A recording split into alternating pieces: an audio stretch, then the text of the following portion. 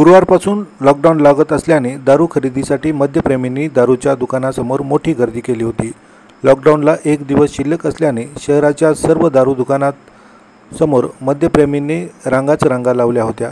कोरोनाचा उद्रेक वाढत असल्याने जिल्हाधिकाऱ्यांच्या पंचवीस मार्च ते चार एप्रिल या कालावधीत लॉकडाऊन जाहीर केला आहे. अत्यावश्यक सेवा वगळता संपूर्ण व्यवहार बंद राहणार आहे. अकरा दिवस जिल्ह्यातील दारूंचे सर्व दुकाने देखील बंद राहणार आहेत. त्यामुळे मद्यप्रेमींनी बुधवारी दिवसभर खरेदीसाठी मोठी गर्दी केली होती. अनेकांनी दहा दिवस पुरेल एवढा दारूसाठा साठवून ठेवला आहे. तर कोणी लॉकडाऊनमध्ये चढ्या दराने विक्रीसाठी देखील दारू मोठ्या प्रमाणात खरेदी केली आहे. त्यामुळे आता अशा अवैध दारू विक्रीवर राज्य उत्पादन शुल्क काय कारवाई करणार हे पाहावे लागणार आहे.